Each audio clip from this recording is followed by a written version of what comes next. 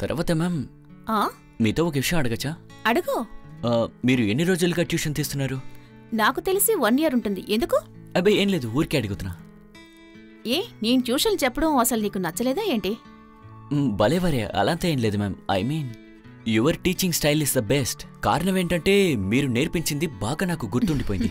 ఇప్పుడే కదా మనం స్టార్ట్ చేస్తున్నా ఇక తర్వాత తర్వాత నువ్వే చూస్తుండు నేను ఏమేమి నేర్పిస్తానో.